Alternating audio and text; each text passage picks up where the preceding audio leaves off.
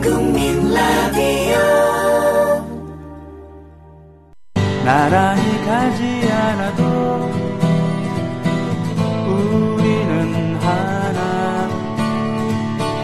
세상은 힘들게 해도 우리는 조합원. 우리는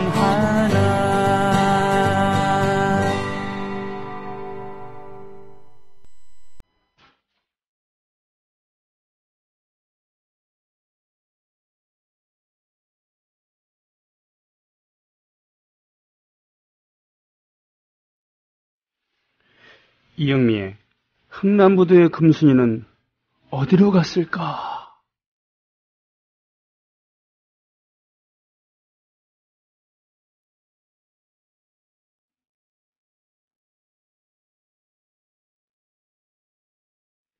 계절을 느끼는 감성은 보통의 감성이 있겠습니다만 개인의 특별한 경험에 따라서 매우 달라질 수도 있다라는 봄이라고 해서 항상 화사하지는 않을 수도 있다는 것이죠. 봄에 끔찍한 기억을 갖고 있다고 한다면 오히려 겨울보다도 더 물신연스럽지 않을까 싶기도 하고 그렇습니다. 흥남부대 금순이 일사후퇴, 겨울 뭐 이렇게 될 텐데 말이죠.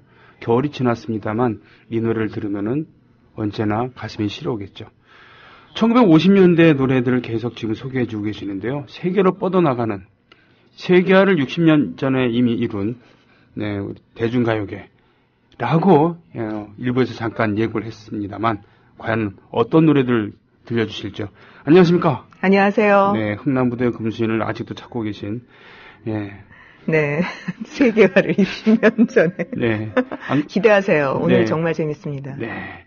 그러게 말입니다. 어, 지금 뭐 오늘 같은 경우는 음악들이 네. 희귀음원들이 많아서 말이죠. 그렇죠. 보통 스트리밍, 스트리밍 서비스도 없는 그런 곡들을 네네. 많이 그 준비해 주셨습니다. 네, 기대해 보겠습니다. 그 50년대 양풍의 노래들 이야기를 쭉 하고 있었는데요. 네네. 오늘은 양풍, 양풍은 이제 서양풍이잖아요. 예, 예. 어, 주로 미국을 중심으로 하고 있는 대중음악이 들어왔다 이런 얘기인데 그렇게는 도저히 이야기할 수 없는 하여튼 뭔가 다른 이국풍 우리나라는 아닌 것 같은 거 네. 그러니까 사실 양풍은 꼭 이국풍이라고 할 수는 없어요. 이제 해방 이후부터는 이게 워낙 미국이나 서구권은 우리 것처럼 되어버린 뭐 세계 보편이라고 이해되고 있는 무슨 그런 거잖아요. 예. 근데 그것이 아닌 뭔가 다른 음, 뭔가 아 이거는 이국적이야라고 예- 얘기하는 그 노래들이 50년대 굉장히 많이 나왔다는 이야기고요. 예, 오늘 예. 그 노래들을 들려드리려고 합니다. 그렇군요. 네, 네, 오늘 뭐, 뭐- 제, 제목, 오늘 참, 네, 참. 제목부터 예, 뭐 예. 말이 필요 없어요. 일단 노래를 들어보시면 네. 어머 이게 뭐야 이러실 텐데요. 네. 어, 샌프란시스코란 노래가 있어요. 샌프란시스코. 네, 뭐 겉으로 봐선 굉장히 양품 같아요. 네. 처음에는 장세정, 어, 그러니까 식민지 시대의 제2의 이난영이라고 불렸던 아, 네. 그런 가수죠. 그러니까 네. 이난영 말고 여자 가수 한 명 더 꼽아라 그러면 장세정 꼽아야 되는 그렇습니까? 그, 예, 그런 네. 정도입니다. 장세정이 취입했는데 지금은 백설이의 목소리를 훨씬 더 많이 남아 있고 음, 장세정 버전은 별로 좋지가 않아요. 막 음이 너무 연세가 드셨을 때 다시 녹음을 아, 예, 해가지고 예, 예, 예. 백설이 목소리로 듣겠습니다. 샌프란시스코. 야, 그 스카 맥킨지 얼마 전에 돌아가셨습니다만, If you're going to San Francisco, 네. 이런 노래를 기억하고 그런 있는. 것을 기대하시면 완전히 깨죠. 한번 들어볼까요?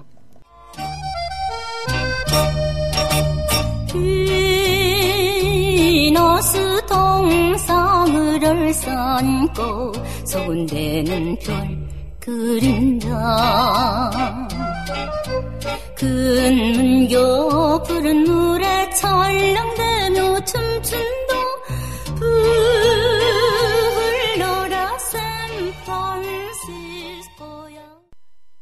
헉 하면서 어릴 때 들어보고 불러봤던 노래다. 라고 열매님께서, 예, 예, 해주셨습니다. 들어보셨네요. 저- 저는 정말 이 노래 처음 들을 때 깜짝 놀랐어요. 예. 이런 노래가 이런 가사에 이런 음악으로 이런 제목으로 존재할 줄이야 정말 상상도 못했습니다. 아니, 비너스 동상이 왜 거기에 있어야 그러니까요? 제 말이요. 그러니까 네. 뭔가 동상이 있어야 된다고 생각하나 봐요. 뭐 뉴욕에 가면 뭐 이런 거 있잖아요. 자유여신상. 예, 네, 예. 네. 그런 것처럼 뭔가 하나 있어야 되는데 뭐가 있는지 잘 모르겠으니까 네. 그냥 가장 뭐 무난한 거 그냥 넣은 것 같아요. 비너스 동상을. 그러니까 한 줄에 하나씩 여기는 중요한 게 그거예요. 한 줄에 하나씩 뭔가 미국을 연상시키거나 그런 단어가 들어가요. 그다음에 금문교가 들어가죠. 네. 어, 로맨스가 들어가죠. 네. 뭐 American 아가씨가 하나씩 들어가는 거예요. 그런데 뭔가 좀 미국적인 분위기는 아니에요, 절대로. 그렇죠. 예. 음악이 이거는 뭐 거의 백발백중. 제가 이 노래를 학생들한테도 틀어주고 샌프란시스코 갔니? 그럼 아니요, 중국 같아요. 이렇게 이야기합니다.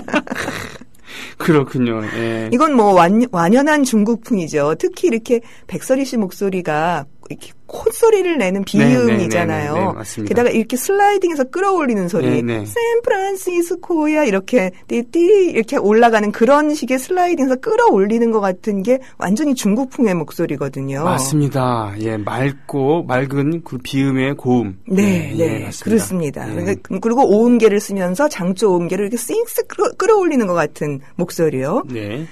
백설희 씨가 이런 노래를 참 잘 불러요. 어, 그래서 그 시기에 아메리카 차이나타운이라는 곡도 아, 네. 깜빡 깜빡 깜빡 그렇죠. 깜빡. 이거요? 예, 란탄 등불. 전 란탄 등불도 한참 있다 알아들었어요. 랜턴. 랜턴 이었어요. 예, 그 당시 란탄이라고 했나 봐요. 아이고.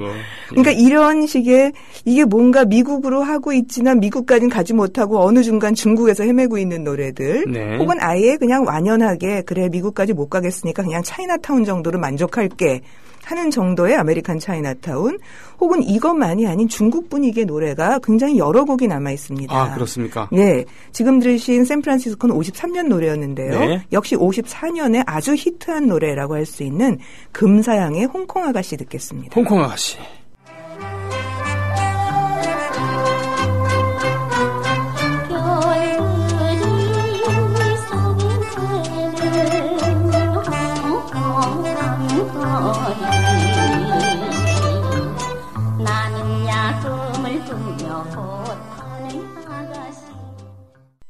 네, 이건 좀 중국 같네요, 진짜. 홍콩이네요. 네. 그렇죠. 네네. 원제목은 한자로 써 있었어요. 발표될 때는. 아. 향, 뭐 향항 아가씨라고 해야 될 수도 있는데요. 아, 네네. 음, 어쨌든 뭐 홍콩 아가씨라고 지금 많이 부르고 있습니다. 아, 예. 작사는 다 손로원이라는 작사가고요. 50년대 굉장히 많은 작사를 하신 분이에요. 봄날은 간다도 이분 작사고. 아, 그러시군요. 예. 근데 주로 이렇게 이국풍의 노래도 굉장히 많이 작사를 하셨어요. 이분은 무대 미술을 하셨던 원래 연극 네, 쪽에서 네, 네. 그러셨던 분인데 이런 작사로서도 아주 능력이 있으신 분이고 샌프란시스코는 박시춘 작곡 그리고 홍콩 아가씨는 이재호 작곡 이렇게 돼 있습니다. 아, 왠지 그 박시춘의 그늘에서 절대로 벗어날 수 없을 것 같은. 예? 우리가 50년대까지는 네네, 최소한, 예, 네. 그렇습니다. 50년대까지는 계속 나옵니다. 엄청난 분이시군요. 네, 그렇습니다. 예. 그래서 이, 좀 이거 쌤- 음. 예, 이것 말고도 심연옥이 부른 향항의 밤, 그러니까 홍콩의 밤이죠. 그런 노래도 있어요. 그러니까 굉장히 많은 양의 중국풍의 노래 음, 그런 것들이 음. 인기를 끌고 있었다는 거죠. 향항 그러니까 한자로 쓰면 그렇고 오사카를 굳이 대판으로 불리는 부르는 그렇죠. 그런 예. 것 같은 그런 네, 네, 그런 거죠. 예. 이뻐요 향항 향기 나는 항구다. 네, 이렇게 뭐 원어 원 발음으로 꼭 해야 된다는 시절이 아니었기 때문에 다 한자어권이었고 그걸 그냥 우리 발음으로 읽어버렸던 뭐 그- 충분히 그럴 수 있죠. 저는 뭐 그것도 나쁘지는 않다는 생각이 듭니다. 하긴 그 베트남 월나라의 남쪽이란 뜻의 한자로 네. 하면 월남이고 네, 또 방콕을 한자를 읽으면 반곡이잖아요. 그렇죠. 네, 좀 네. 재미없어요. 어쨌든 음. 수로 봤을 때 적기는 하지만 중국 이외의 다른 아시아 지역의 노래의 분위기가 난 노래들도 또 있어요. 아 예. 뭐 인도라든가 페르시아라든가 인도의 향불. 네 현인의 인도의 항불 역시 네. 손로원 작사고 이번엔 전호승 작곡입니다. 네. 어 그리고 이건 뭐 1절만 드릴게요. 네, 네, 네. 그리고 허민의 페르시아 왕자 이것도 역시 손로원 작사 한본 한봉남 작곡입니다. 샌프란시스코 거쳐서 홍콩 찍고 인도 페르시아까지 가고 있습니다. 듣겠습니다.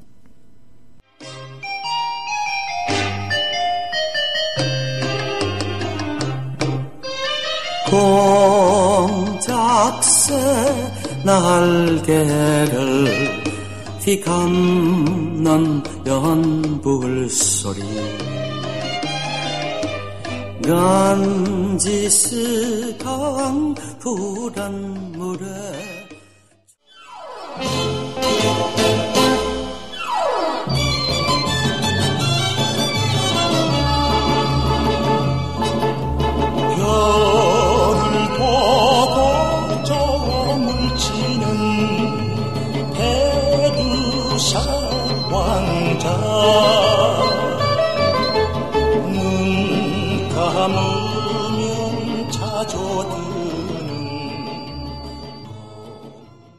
이게 말이죠. 네. 인도의 향불 네. 처음에 그 깽깽이라고 하는데 진짜 깽깽거리는 소리 네. 이게 바이올린이 아니고 사랑기라고 하는 아. 그쪽 그 남아시아의 그쪽에 차려놨기군요. 예, 서남아시아 예예예 예, 네, 네. 뭐 우리가 무슨 해금 이런 거 갖고 네, 있고 네, 네. 얼후가 중국 거가 있는 네, 것처럼 그 소리거나 아니면 그 소리를 재현한 겁니다. 흉내낸 그런 네네. 거죠. 예. 예. 나름대로 고증을 한 건데 이 페르시아 왕자는 전혀 페르시아가 뭐 잘 모르겠어요. 제가 뭐 이란을 가보질 않아 가지고 뭐 이렇게 둥둥거리고 북을 치는지 아닌지는 전혀 알 수가 없습니다. 그러게 이란도 아니고 페르시아예요. 예, 글쎄 말이에요. 이란도 아니고 페르시아. 게다가 네. 마법사 공주래잖아요. 지금 1절이어서 그냥 뭐 꿈속의 공주라고 들으셨지만 네. 이 2절에 가면은 그, 그 아라비아 공주는 마법사 공주 이렇게 돼 있거든요. 네. 연뭘 하고서 뭐 주문을 외고 재를 뿌리고 뭐 이런 뭐 하여튼 그런 거예요. 무슨 알리바바 40인의 도적 그런. 거죠. 아. 네, 아라비안 나이트 속에 나오는. 그러니까 중요한 거는 이게 뭐 네. 어느 나라의 특별한 무엇이 아니라 우리들 마음 속에 있는 머릿 속에 있는 어떤 상상적 이미지를 자극해 주면 그냥 되는 거예요. 네. 그러니까 아니면 말고죠. 네, 아니면 말고. 네, 그러니까 이국풍이란 건 늘 그래요. 진짜 그 나라의 그 모습이 아니고 그냥 그 나라 느낌만 나면 되는 거고요. 아니면 말고. 그 당시에는 뭐 사실은 해외 나간 사람이 거의 없었을 테고. 그렇죠. 네, 그리고 오는 16개국 참전 용사들만 언뜻 언뜻 봤을 수도 있을 테지만요. 사실 그게 굉장히 중요했을 것 같아요. 그러니까 도대체 이 시대에 1950년대에 중국, 인도, 페르시아까지 왜 그렇게 온갖 나라가 다 노래 속에 아. 등장을 하는가라고 네. 하는 게 국제성에 대한 욕망이 아주 넘쳐 흘렀던 시대였다는 아. 거죠. 그러니까 어쨌든 어 우리의 힘으로 우리가 해방이 된 게 아니잖아요. 네네네. 예, 여태까지는 그냥 중 일본 우리 뭐 이런 정도만 생각하고 살았던 사람이 어느 날 갑자기 막 얼굴 하얗고 까맣고 이런 사람들이 들어와서 같이 살게 되고 네. 게다가 전쟁이 나면서 정말 16개국의 연합군들이 들어와서 별별 희한한 사람들하고 얽혀서 한 공간 안에 살게 되는 심지어 보면. 이티오피아까지 말이죠. 그렇죠. 예. 아프리카에서까지 오게 예, 되는 거니까요. 예. 그래서 그런 국제성에 대한 뭔가 다른 나라에 대한 어, 궁금증, 욕망 이런 것들 그런 걸 알아야만 뭔가 세계 정세에 끼어들 수 있고 나도 새로운 시대로 나아갈 것 같은 그런 욕망이 넘쳐 흘렀던 시대라고 보이는 겁니다. 예. 그러니까 이제 미국 풍만 들어오는 게 아니라 양풍에서도 나폴리, 파리, 런던 뭐 심지어 이 시대에 모로코도 있어요. 모로코. 정말요? 네, 노래 노래 가사에. 아니 모로코는 지금도 뭐 웬만한 사람들은 어디 있는지도 모르는 모나코하고 모로코 헷갈리죠. 그렇죠. 사람들이. 모나코랑 모로코 헷갈립니다. 예, 근데 모로코도 있어요. 하긴 그 당시에는 어 오스트리아 출신의 프란체스카 여사 오스트레일리아로 헷갈려서 그렇죠. 호주 부인. 호주 댁이라고 불렀었잖아요. 그렇죠. 그런데 모로코, 모나코. 네. 모로코 모나코 지금도 많이 헷갈릴 텐데 어쨌든 음. 모로코가 등장을 하기도 하는 제목이 있어요. 아, 세상에. 양풍인데 하여튼 뭔가 조금 다른 거 하나 좀 들어볼까요? 네네. 이 시대의 그 국제성에 대한 느낌을 좀 확인해 보시라고 그, 골랐습니다. 백설이가 부른 칼멘 야곡입니다. 칼멘, 이야. 스페인이죠. 집시 돋네요. 네. 네.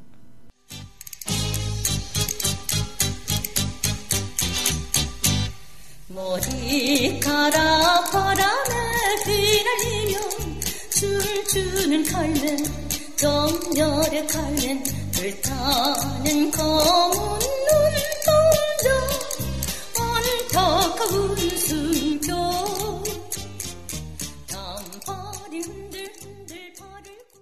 낭만적이라고 얘기를 해야 되나요? 연지 입술이 뭐 빗물에 젖네라고 하는 원래 칼멘의 그런 느낌은 아닌데 그죠?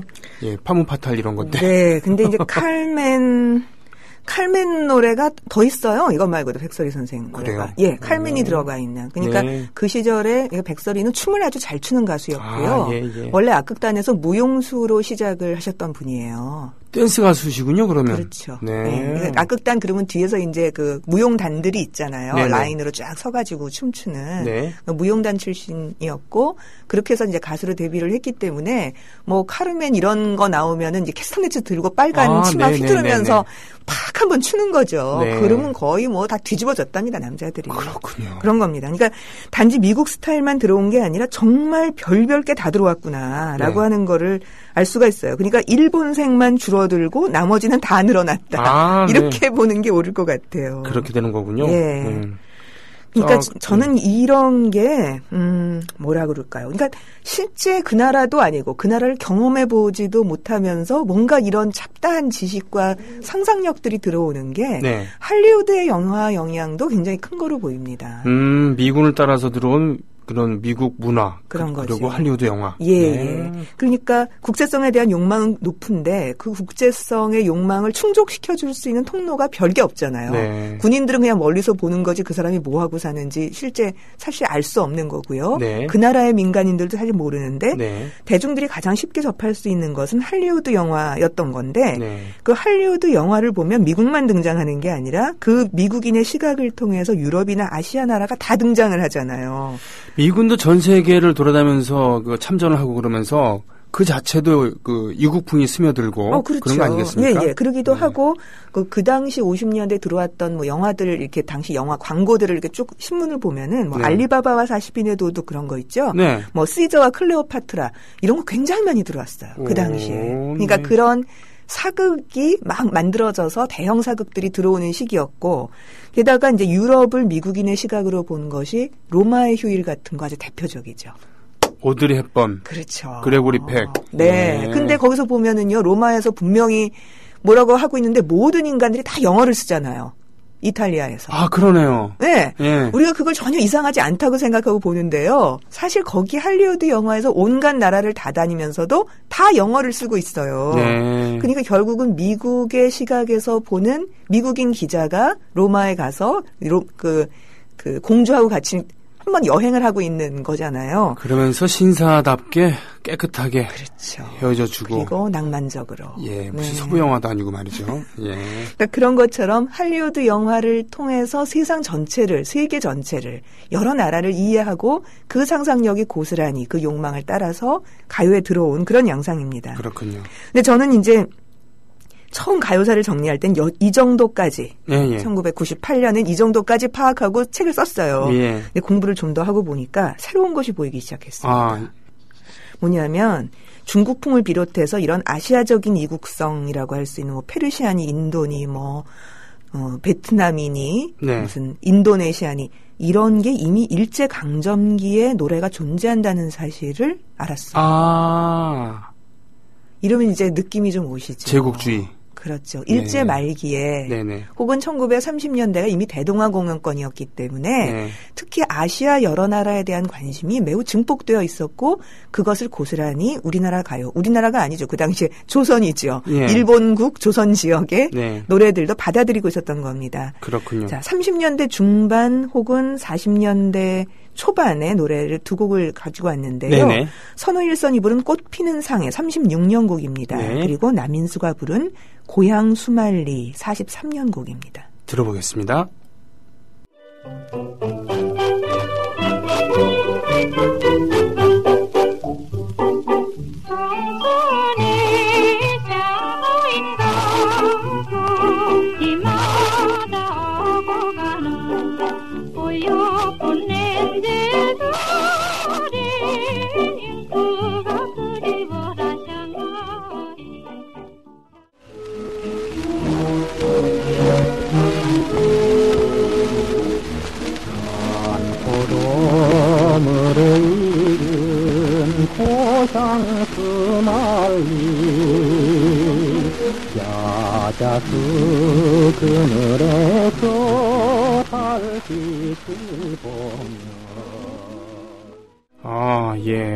예. 고향 수말리 남인수 아주 희귀음원이군요, 이거는. 네, 그렇습니다. 이거는 뭐 스트리밍 아주 서비스에도 없는. 구하기 굉장히 힘든 건데요. 네네. 어, 하여튼 구해갖고 왔습니다. 예. 1931년에 만주사변 났죠. 네. 37년에 중일전쟁. 네네. 그러니까 일본의 입장에서 보자면 30년대는 굉장히 잘 나가는 시대였던 거예요. 그렇겠네요. 네, 이제 한반도 먹은 것을 넘어서서 대륙 침략에서 하나씩 하나씩 이루어지고 있는 시대였던 거고요. 지질 않았어요. 네. 네. 먹은 거잖아요. 네네. 어쨌든 그 작은 섬나라가 31년에 만주 먹었죠. 그리고 중국의 본토를 친 거니까요. 네. 37년에는 대동아 공 영권의 관심사로 보자면 아시아는 대동 단결해야 되고 여러 아시아 지역에 대해서 어, 다 같이 관심을 가져주는 건 굉장히 중요한 일이었어요. 네. 그래서 어, 꼭 뭐 조선 선만 이려 그러잖아요. 조선과 만주가 하나였다. 내선 네. 일체뿐만이 아니라 일본과 조선이 하나인 건 말할 것도 없고 만주와 조선도 하나였다라고 세- 생각하고 있었고 또 마찬가지로 중국에 대한 관심도 당연한 거고 더 나아가서 어, 전쟁을 하기 시작하니까 무슨 인도네시아, 월남 네, 뭐 네. 이런 것들도 다 관심을 가져야 되는 영역이 돼버린 거예요. 대동아 공영권 안에, 안에 있으니까. 뭐 전에도 얘기한 적이 있습니다만 실은 만국기가 휘날리는 운동의 풍경은 네. 바로 이때 확립된 거죠. 음, 아, 그런 거군요. 네, 네, 예, 네. 예. 그러니까 이제 이 시대야말로 새로운 국제성의 시대였던 아, 셈이에요. 예. 20세기 초반에 우리가 제국주의 열강의 침략을 받으면서 세계에 대해서 새롭게 눈을 뜨고 난 다음에 네. 그 다음에 이제 식민 시대 들어가서 30년대 말 40년대 초반에 다시 한번 이런 그 국제성에 대한 것이 노출돼서 어떻게 보면 해방 후와 50년대까지 이어지고 있었던 셈일 수도 있어요. 네. 그러니까 잠깐 잠깐 굴곡이 있었습니다만 지금 고향수말리 가사가 잘 들리셨는지 모르겠습니다만 산포도 무르익은 고향수말리 야자수 그늘에서 달빛을 보면 네. 눈앞에 떠오르는 그리운 얼굴 아 고향의 어머님은 안녕하신가 그러니까 결국 야자수가 있는 곳에 태평양 전쟁을 하러 나가 아. 있는 조선인 병사가 부르는 노래예요 이 노래는 남양군도. 그렇죠 남양군도 그 얘기하면. 당시에 아, 예. 43년 노래니까요 네, 네. 이런 노래가 많아요. 지금 이제 꽃피는 상해 같은 이런 노래는 뭐 북경 아가씨 같은 것도 있고요. 그러니까 이게 해방 후 50년대 홍콩 아가씨로 바뀌는 건 너무 아. 당연한 거죠. 자, 이- 여기에 그 사회상이 예, 예. 괜히 괜히 그 나온 게 아니군요. 그렇죠. 네. 북경 아가씨를 부를 수 없잖아요, 이제는. 그때는 그렇- 이제 중공이 되어 버렸으니까. 네. 그러니까 어. 홍콩으로 내려온 거예요. 갈 수 있는 곳으로. 네. 그리고 일제 말기에 뭐 밀림의 달밤도 있고요. 안남 아가씨, 심지어 페르시아 점장이도 있어요. 페르시아 아까 네. 왕자 있었는데 점장이도 있었단 페르시아 말입니까? 점장이가 있어요. 그 정말 알리바바 40인의 도적 또는 신바트의 모험 참 좋네요. 예. 근데 이제 그런 데서 막 점장이 얘기가 한참 나오다가 그러다가 그 그들이 어뭐 희망을 보면서 동쪽을 본다 이런 네. 식으로 끝나요. 아. 가사들에서는. 희망을 보며 동쪽을 본다. 예, 예. 그러니까 이제 희망과 동쪽이들 같이 있어요. 왜냐하면 그쪽에서 동쪽이란 건 어디겠습니까? 일본이. 일본이 있는 아. 곳이죠. 그러니까 거기가 희망이다. 허울 좋은 내선일체, 선만일체, 예, 또 대동아 그리고 공영권, 대동아 공영권. 예, 그럼- 모두 일본이 중심이 돼야 된다. 네, 근데 그런- 실제 그 당시 소설 같은 걸 보면요, 조선인들이 쓴 소설 중에서 인도인을 굉장히 불쌍해해요. 왜냐, 아니, 백, 백인의 노예들이잖아요. 어, 우리는 대동아 공영권과 함께 내선 일체를 하고 있는데 내국인 대우를 받는데 물- 물론 일본인이 되어서 이거예요. 네, 논리로 보자면은 물론 착한 식민지, 식민주의는 없습니다만 그래도 영국 같은 경우는 독립을 한 뒤에도 영연방으로 엮여져서 사실은 그런 여지라도 줬지. 근데 어쨌든 일본의 논리는 그 당시에는 니, 니들 백인들의 식민지가 될래 아니면은 대동아 공영권 우리랑 같이 살래 이거였거든요. 언뜻 선틀력 있는 것 같지만 어, 아주 꽤, 교활한. 꽤 그럴 듯해 예, 보이다니까요. 그 당시로 보면은. 그렇군요. 근데 어쨌든 이런 노래가 저는 이게 더 기가 막혀요. 해방 이후에 취입된 것도 있어요. 그래요? 네. 네. 48년에 나온 남인수의 몽고의 밤입니다. 몽고의 밤. 몽고의 밤? 네. 들어보겠습니다.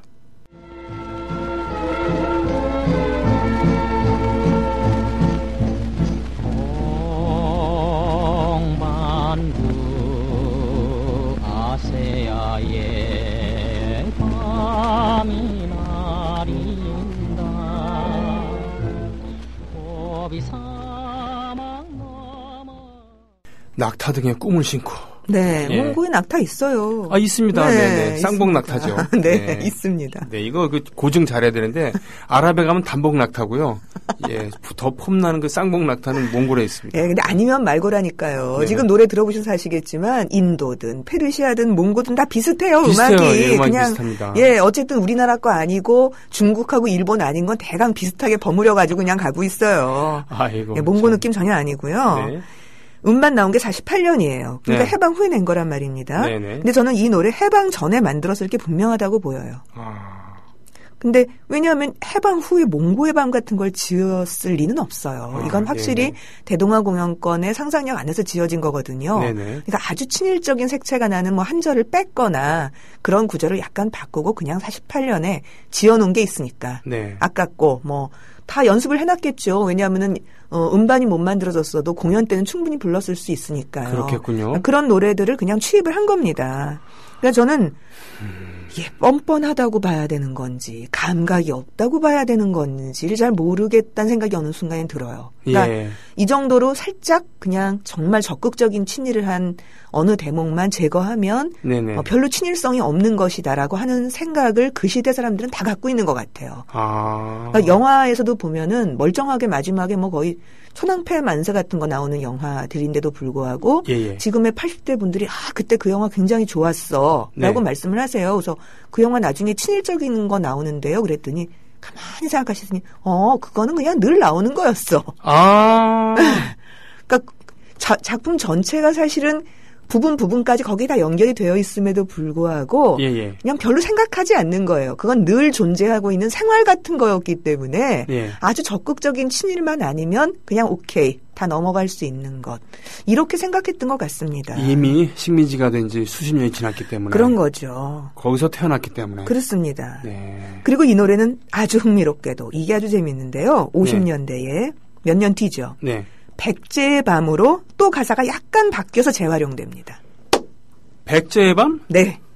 그러니까 동반구 아세아의 밤이 내린다가 아니고 네. 무슨 뭐 무슨 700년 뭐 뭐에 뭐뭐 무슨 뭐가 내린다 이렇게 돼서 성길산이 징기스칸이잖아요. 그렇죠, 그렇죠, 지금 그렇죠. 이전에 나왔던 네네. 가사. 그게 이제 뭐 의자왕으로 바뀌든가 하여튼 뭘로 바뀌어요. 근데 사실 뭐 곡조로만 따지면 음악으로만 따지면 몽고의 밤보다는 백제의 밤이 더 어울리긴 하겠네요. 따지면. 좀, 좀 이상하죠. 왜냐하면 백제는 어쨌든 우리나라의 역사인데 네. 이렇게 만들어버림으로써 백제라고 하는 삼국 시대가 묘하게 우리 역사가 아닌 아주 이국적인 역사로 느껴지도록 만드는 효과를 발휘하거든요. 그러니까 아. 1950년대부터는 희한하게 이 조선이 아닌 세상에 대해서 영화도 그렇고 악극, 노래 같은 것들이 다 이런 아시아적인 이국성으로 포장되어 있어요. 예컨대 무영탑 같은 그 현진건의 장편소설. 가지고 만들었던 영화를 보고 있으면은 아주 뭐 의상이 가관이에요. 그래요? 스카프를 막 머리에 둘러가지고 나오는 아라비아 여자들 같이 뭐 그런 거 있잖아요. 무슨 낭낭공주, 하당, 호동왕자 이런 것들도 마찬가지로 그러니까 조선까지는 우리의 역사라는 느낌이 들지만 이게 네. 무슨 고구려나 백제나 이런 데 가면은 아주 다른 나라의 머나먼 어느 어느 것과 관련되어 있는 우리하고는 워낙 먼 시기적으로 머니까 그렇군요. 근데 그것을 지역적으로 먼 것 같은 느낌으로 오도록 만들어 놓고 있다는 거죠. 근데 바로 이 백제밤 발상이 뭐냐면 신라의 달밤 발상이에요. 예? 신라의 달밤. 신라의 달밤은 신라의 달밤이잖아요. 현인의 신라의 달밤 제가 한번 말씀드렸던 것 같기도 한데 이게 바로 인도의 달밤이라고 일제 말기에 만들어졌던 노래를 역시 재활용한 거거든요. 세상에. 네. 근데 그거는 인도의 달밤은 음반이 안 남아 있어요. 아. 하여튼 뭐 들어보죠. 이거 신라의 달밤을 들어보면 네. 왜 이 노래 처음에 그렇게 인도 분위기가 나는 노- 음악이 나오고 있는지가 이게 드디어 이해가 되실 겁니다. 아, 그렇겠네요. 전주 어- 어렴풋 기억나는. 그렇군요. 네. 신라의 달밤 1949년작입니다. 들어볼게요.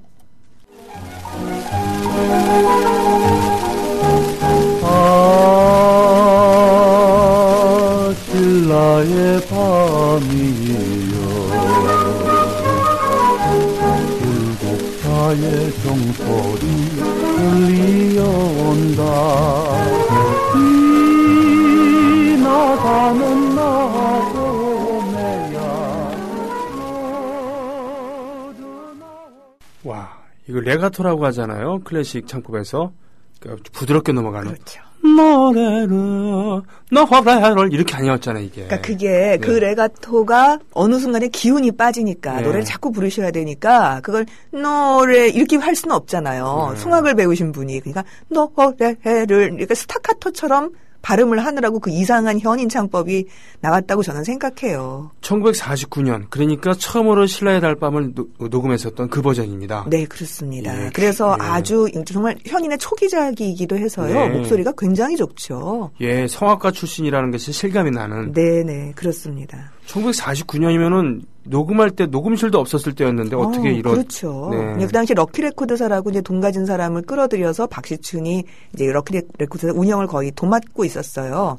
근데 그 당시에 명동에 댄스홀 같은 것들 있잖아요. 네네네. 그러니까 밤에만 댄스홀을 하니까? 하니까, 낮에 거기서 이제 쭉 커튼 같은 거 쳐놓고서 하는 거죠. 여기도 박시춘이 나오네요. 박시춘이에요. 불시출의 작곡가이자 기획자이기도 했네요. 그러니까. 아, 그럼요. 영화사까지 했었어요, 이분은. 아. 네, 영화 출연도 했었고요. 아까 예? 영화 출연도 했었어요. 네. 남인수의 몽고의 밤 있죠? 아까 네, 들었던. 네, 그것도 네. 박시춘 작곡이에요. 대단하군요. 네. 남인수의 고향수말리 역시 박시춘 작곡. 이게 다 조명한 박시춘이에요. 지금 음. 여기까지 신라의 달밤까지도 아니죠. 신라의 달밤은 유호 박시, 유호장. 아, 예, 네, 유호 네. 박시춘입니다. 네. 그러니까 이 노래가 어, 일제말 노래 재활용이라는 게 오랫동안 밝혀지지 않은 채 굉장히 히트를 했, 한 노래였죠. 네. 근데 90년대 들어서서 이제 드디어 남북교류가 조금 시작될 즈음에 네. 북에서 문화부 장관까지 잘 지내셨던 조명암 네, 작사가가 어느 날 밝혔어요. 그, 제, 그 조총련계 무슨 언론이었거든요. 네. 남쪽에 가보니까 신라의 달밤이라고 내 노래를 표절해가지고 쓰고 있던데 이건 완전 도둑질이다. 조선신보 혹시 아닙니까? 맞습니다. 예. 조선신보에다가 그렇게 떠들었어요. 아, 그러니까 이게 원래 인도의 달밤이었는데. 네. 그래서- 내가 인도의 달밤이었다. 이거 일제 말기에 내가 지은 건데 어느 놈이 이걸 가져다가 베껴 먹어갖고 신라의 달밤으로 바꿔서 지 맘대로 부르고 있다. 역시 아, 간주랑 그 전주에 네. 이상야릇한 멜로디. 그런 거죠. 예, 인도. 그래서 제가 이호 선생님한테 여쭤봤어요. 이거 도대체 어떻게 된 겁니까? 네네. 그러니까 이분은 이제 제가 한번 아내의 노래 때 말씀을 드렸죠. 네. 갑자기 작곡가가 와서 제목도 지었고 곡도 지었는데 가사만 못 지었다고 갑자기 지어달라고 해서 후두둑 지었다. 와. 이런 겁니다. 속으셨군요. 예, 속은 거죠. 네. 네, 신라의 달밤까지 만들어 갖고 온 거예요. 그 발상을 박시춘이 다 해갖고 온 거고 사람 좋은 유호 선생이 넘어간 겁니다. 그리고 바로 이것을 벤치마킹해서 고스란히 아내의 노래가 또 그런 방식으로 아. 만들어졌고 몽고의 밤은 그야말로 동- 아시아적인 이국성을 고대사 삼국시대로 갖고 온 똑같은 발상의 노래가 몇 곡이 같이 나오게 이렇게 된 네, 거죠. 그렇겠군요. 네. 자, 어이구, 이제 뭐 시간이 다 됐습니다만. 네. 오늘 마지막 곡을 소개 해 주실 차례가 됐습니다. 이런 식의 재활용이 몇 곡이 더 있어서요. 네. 어, 한 곡을 더 들려드리려고 합니다. 네. 39년에 발표됐던 노래인데 사실 이 노래를 어, 39년 노래로는 거의 기억하지 못합니다. 진박남의 꽃마차인데요. 네. 노래하라 꽃서울. 예, 그렇죠. 이거 뭐, 그, 1950년대 이후 곡. 그렇게 네. 보이죠. 네네. 근데 거기서 보면요. 하늘은 오렌지색 좀 이상하지 않아요? 서울의 하늘이 오렌지색? 그러게요. 그렇죠. 네. 꾸훈양의 귀걸이는 한들한들. 꾸냥? 꾸냥? 중국 소녀. 예, 예, 예, 예. 이게 원래 하루빈이었어요. 노래하라 하루빈 이거였습니다. 하얼빈이요? 네, 하울빈이에요. 39년 노래였고요. 진박남 작사, 이재호 작곡의 노래였습니다. 그냥 반야월이죠. 중국을 침략해서 네. 먹어버린 다음에 네. 하울빈 공연 가서 하울빈을 보고서 지은 노래였대요. 이 진박남은 그 가수로 활동하다가 나중에는 반야월이라는 필명으로. 네, 작사가로 어마어마한 우리나라 가요사에서 가장 많은 히트곡을 보유한 그렇습니다. 네 그런 그런 작사가, 작사가. 예, 예. 반야월 작, 그 작사상도 있는 네. 지금 예 전설적인 그분의. 아주 초기 작사곡이라고 할 수 있어요. 네. 그래서 진박남의 꽃마차를 들으시면서 그냥 아 이게 서울이구나가 아니라 네. 사실은 서울이 하얼빈이었고 서뭐 한강물 출렁출렁이 숭화강 출렁출렁이었다는 사실을 기억하면서 이 노래를 들어주셨으면 좋겠습니다. 고맙습니다. 오늘도 아, 음악으로 전 세계를 돌아다녔어요. 그렇습니다. 좀 이상하긴 하지만 예, 그 다음 주에 뵙겠습니다. 고맙습니다. 고맙습니다. 네. 다랑원님, 인천 달봉이님, 당찬하루님, 구포나루님, 문광님, 열매님, 블루벨벳님 등등등 모두 모두 고맙습니다. 예, 마지막으로 진박남 작사 그리고 이재호 작곡 꽃마차 들어보겠습니다. 1939년에 나왔다는 그런 것을 예, 염두에 두고 들어보시면은 이해가 되실 겁니다. 고맙습니다.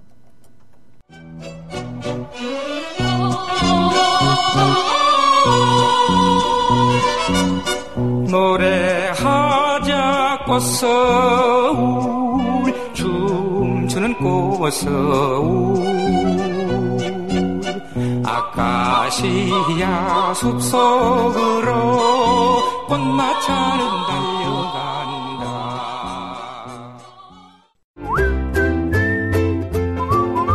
국민라디오 팟캐스트 응원하는 가장 쉬운 방법 아시나요?